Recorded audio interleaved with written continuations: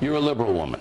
Um, you're sympathetic to um, pro-choice people, um, politically correct people. Remember when I was on The View and Goldberg and, and Behar ran off because Yeah. I said Muslims killed us on 9/11? Muslims didn't kill us on 9/11. Is that what you're saying? Excuse me. You were sitting next to me. All right. You knew what I meant.